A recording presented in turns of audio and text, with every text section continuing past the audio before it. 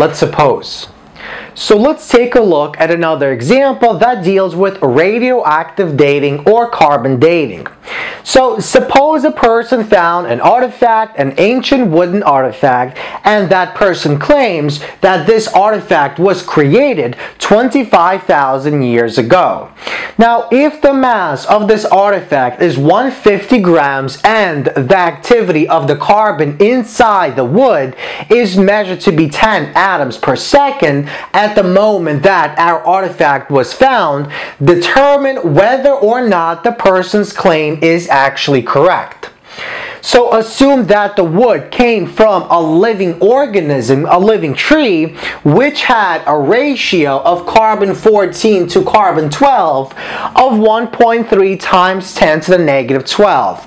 And assume that the decay constant for carbon 14 is 3.83 times 10 to negative 12 seconds to the negative 1.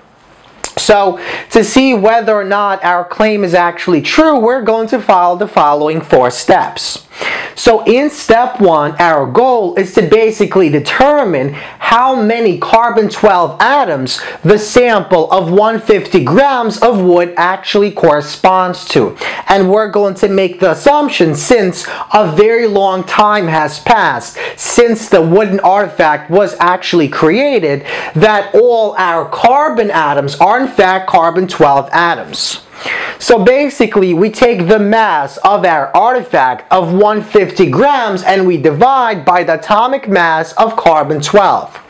So 150 grams divided by 12 grams per mole, the grams will cancel, the mole will go on top.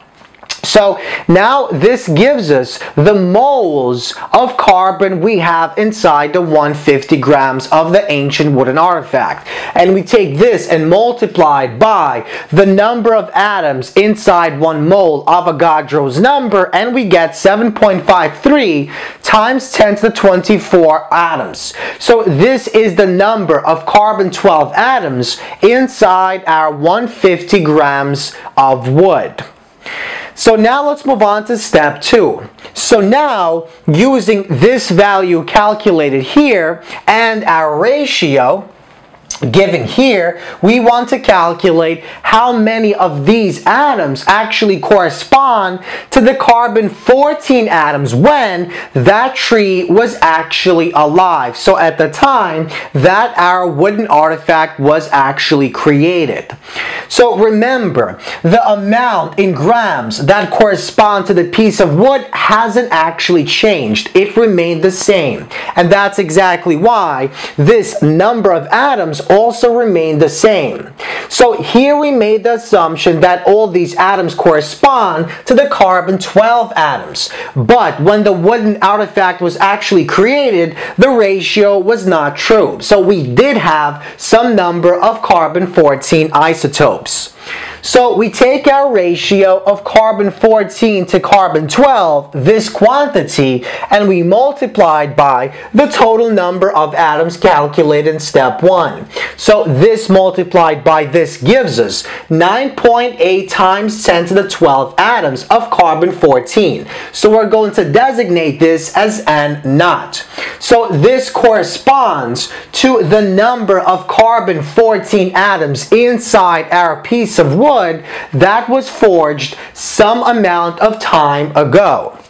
So, now in step three, we want to actually find the rate of decay or the activity of our wood when it was actually alive, when it was found inside that living tree at the time that it was created.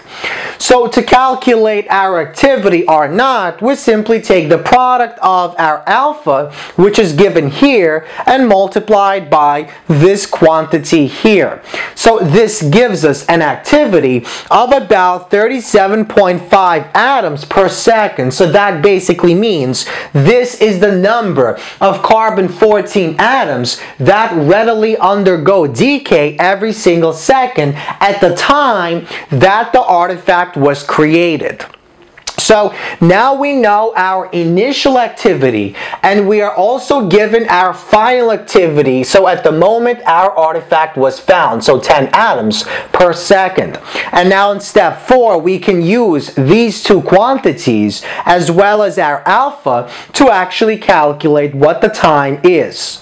So basically, we can use this equation, rearrange it, and we get the time is equal to negative natural log of the ratio of our two activities, R to R naught, where R is 10 atoms per second and R naught is 37.5 atoms per second, and we divide that by alpha, this quantity and we get a value of 3.451 times 10 to the 11 seconds. So this is basically the period of time that has passed between when the artifact was actually formed and when the artifact was found. And this corresponds to a value of about 10,940 years.